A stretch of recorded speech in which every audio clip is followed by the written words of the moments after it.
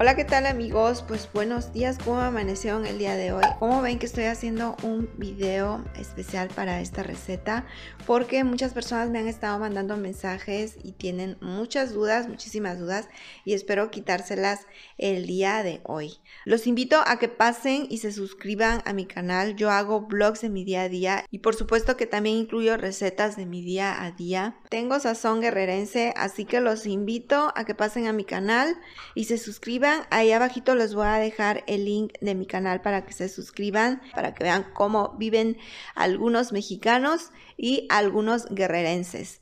Así que pues vamos a empezar la receta, espero les guste.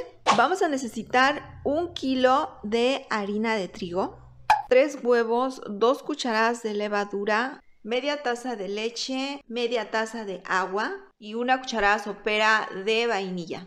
Por acá 225 gramos de mantequilla en barra. Esta es la marca que yo uso y es sin sal. También vamos a necesitar media taza de aceite que vamos a incluir aquí con nuestra mantequilla. Vamos a ponerla a derretir aproximadamente por medio minuto. Y miren, de este lado tengo una taza de azúcar. También vamos a necesitar una pizca de sal. Y oigan, para la china, que es lo que se le pone encima a la concha, se va a necesitar harina, azúcar, aceite y sal. Esta mezcla también la vamos a necesitar para ponérsela a nuestro pan borracho o pan gringo. No sé ustedes cómo le nombren al pan, pero es un pan muy bonito. También quería decirles que ha habido personas que me han mandado mensajes preguntándome que cuánto se ocupa por la mitad o por pequeñas cantidades de pan. Bien, pueden hacer una aproximación de las cantidades. Por ejemplo, si ustedes quieren hacer la mitad de pan, pueden ocupar la mitad de mantequilla, la mitad de azúcar, la mitad de vainilla, la mitad de leche y la mitad de levadura. Y con el huevo pueden ustedes ocupar la cantidad que ustedes quieran, siempre y cuando no pase de cuatro huevos. Si ustedes le ponen más huevo, mucho que mejor. Pueden incluir otro huevo más aquí. Igual si quieren hacer la mitad de pan, pueden dejar aquí tres huevos o bien ponerle dos o uno. Dividan las cantidades según la cantidad de pan que ustedes quieran, igual también con la harina. Entonces amigos, sin más preámbulos, vamos a seguir con nuestra receta.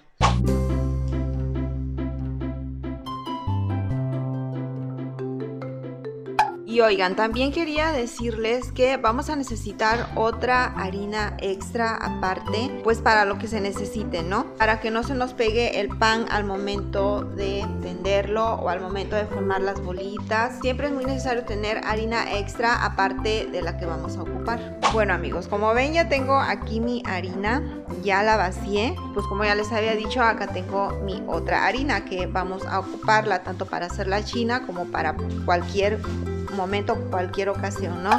Voy a empezar primero que nada por ponerle los ingredientes secos a nuestra harina, como la azúcar, nuestras dos cucharadas soperas de levadura y solo una pizquita de sal. Y bueno, ya teniendo acá nuestros ingredientes secos, vamos a empezar a unirlos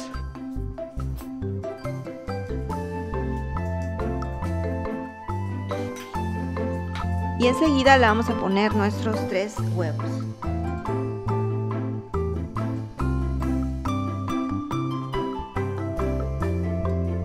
La leche, el agua y la vainilla.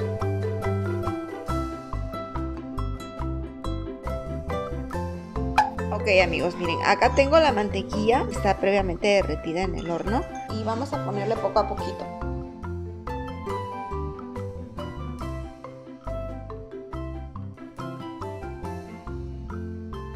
mientras más tiempo amasemos nuestra masa, mucho que mejor.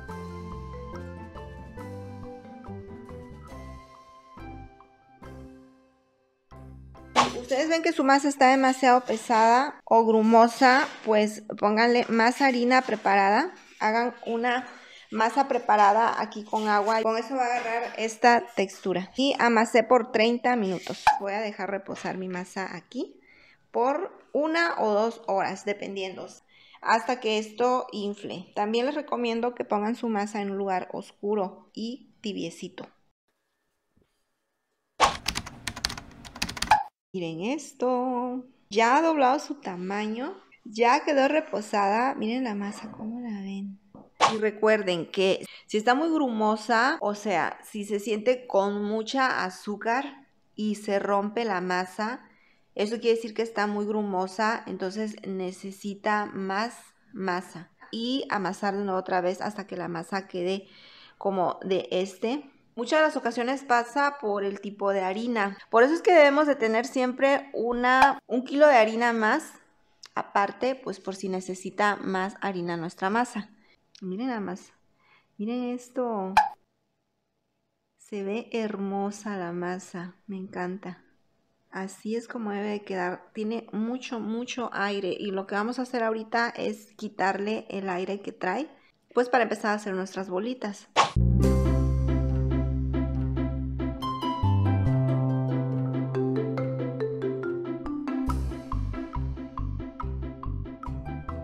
Bueno amigos, entonces voy a dividir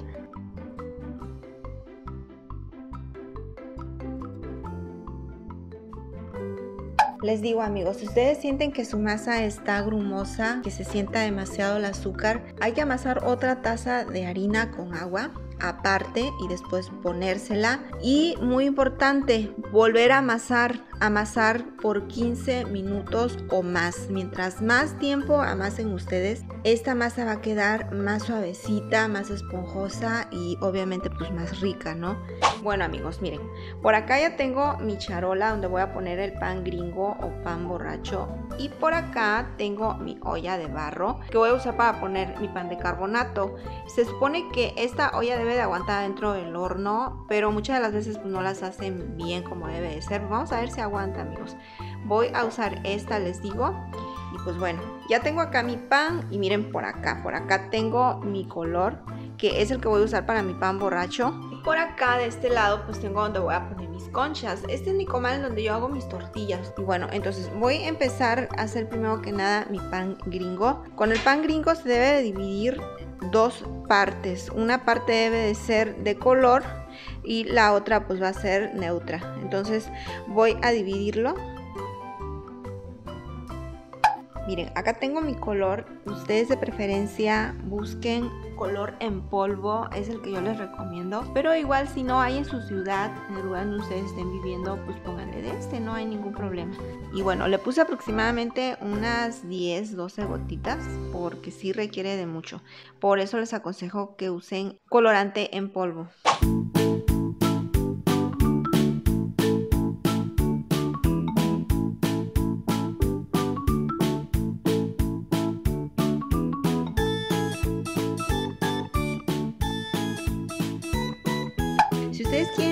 Más color lo pueden hacer más intenso, no hay ningún problema. Igual también si no encuentran color rojo pueden ponerle el color amarillo. Súper bonita la masa, me encanta, miren. Y acá tengo mi otra parte. Y oigan amigos, miren, decidí cambiar, mejor poner el pan de carbonato aquí. Me hubiera gustado hacerlo aquí amigos, porque como es de barro agarra un buen sabor, pero no quiero exponerme y tampoco quiero que se me queme, así que mejor voy a hacerlo aquí voy a hacer entonces el pan de carbonato. Acá tengo bicarbonato de ese que usamos para limpiar. Voy a ponerle la mitad de mi cuchara cafetera. Es semicafetera porque está un poquito más, más grande, ¿no? Esto le va a dar sabor. A amasar aquí mi pan de carbonato. Ya voy a amasarlo. Voy a hacerlo bolita, lo voy a meter hacia adentro y lo voy a poner justo en medio y voy a apachurrarlo. Ahora vamos a empezar a hacer nuestras conchas. Vamos a hacer lo que es nuestro puño de la mano, un poco más, más pequeñas. De acuerdo al tamaño que ustedes deseen, amigos. Igual pueden hacer pan grande, como de este tamaño. Miren la diferencia. Este es pan chiquito y este es pan grande.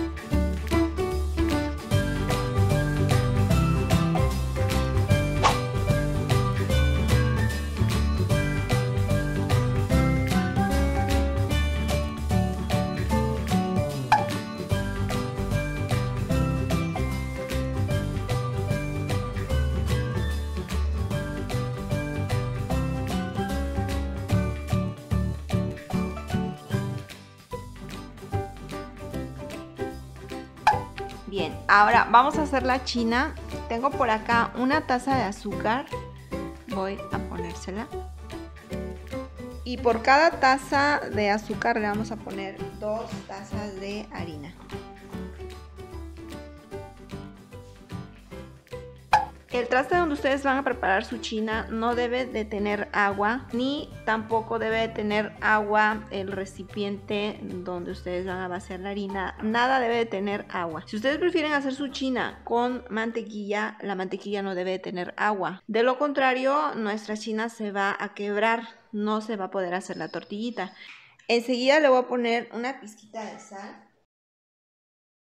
Voy a unir todos los ingredientes secos Ahora voy a ponerle aceite y ahí le van a ir calculando ustedes. Voy a ponerle de poquito en poquito hasta lograr hacer una masa. Aquí todavía le hace falta porque se quiebra. voy a ponerle más aceite. Miren, así es exactamente como nosotros queremos nuestra china. Ya está perfecta.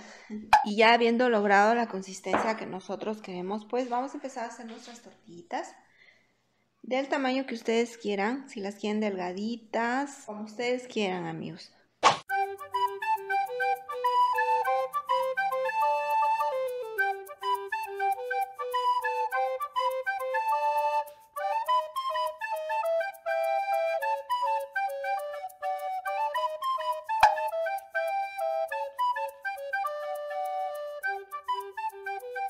Voy a preparar un poco más pues para que me alcance a ponerle acá nuestro pan gringo y a nuestro pan de carbonato. Entonces voy a hacer otra taza de harina.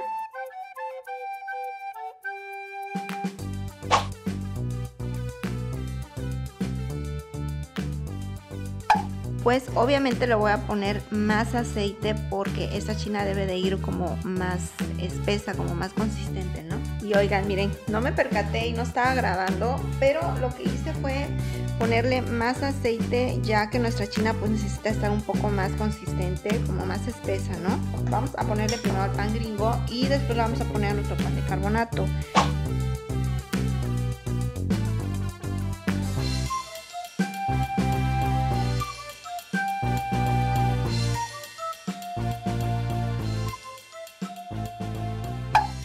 Me está haciendo falta mi pan de carbonato. Así que bueno, les voy a decir cómo preparo mi china para mi pan de carbonato.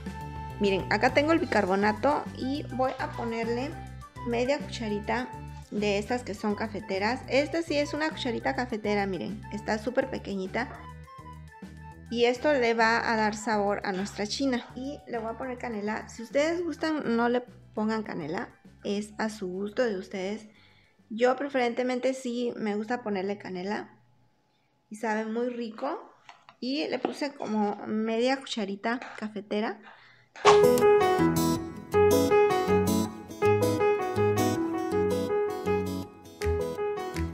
Y nuestra china ya está lista y huele riquísimo.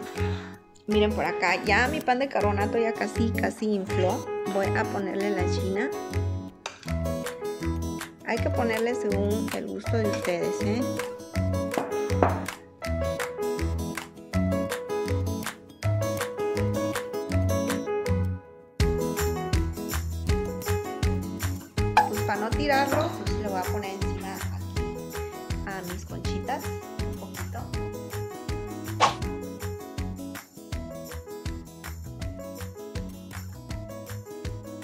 Ya dejé pasar ahorita como unas dos horas aproximadamente. Y pues ya, ya es tiempo para empezar a hornear nuestro pan. Pues miren amigos, ya calentó mi horno y está lo suficientemente caliente. Ya voy a meter mis conchas. Y las voy a dejar en el horno aproximadamente 15 minutos todo depende de su tipo de horno. Ustedes necesitan conocer su horno, hornear algunas veces para saber su temperatura, porque no todos los hornos son iguales, ya que algunos calientan más y otros calientan menos. Así que yo en mi horno voy a dejar mis conchas 15 minutos. Probablemente en su horno de ustedes necesite más tiempo, probablemente no. Yo voy a dejarlo 15 minutos muy bien, ya ahora ya pasaron 15 minutos, un poquito más y voy a ver a ver si ya están mis panes. Miren. creo que esos panes un poquito les falta nada más. Le voy a dejar otros 3 minutos y yo creo que ya con eso. Pues bueno, yo creo que ya están. Voy a sacarlos. Y en total los dejé 18 minutos. Voy a meter mi pan gringo. Y lo vamos a cerrar. Y también vamos a dejarlos 15 minutos aproximadamente. Estos panes los dejé 18 minutos. miren, así quedaron mis conchitas. Se ven bien bonitas. Qué bonitas se ven. Y después de un ratito voy a espolvorarles azúcar. Y ahorita les voy a enseñar cómo. Y miren, ya tengo acá mi canasta. Le puse abajo una bolsa de plástico de esas de basura y encima le puse pues esta servilleta que está bien bonita, que es típica allá de Acapulco porque me la regalaron allá. Bueno, ya tengo aquí mi azúcar y aquí tengo mi pan gringo, entonces voy a ponerle azúcar.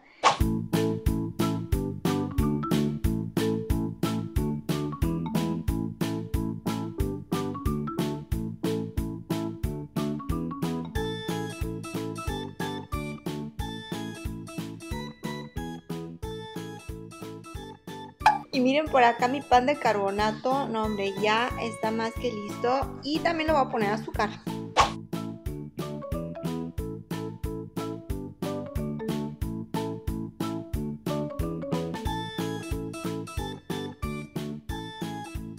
Y bueno amigos, miren, ya tengo aquí mi pan gringo o pan borracho y lo que voy a hacer enseguida es cortarlo.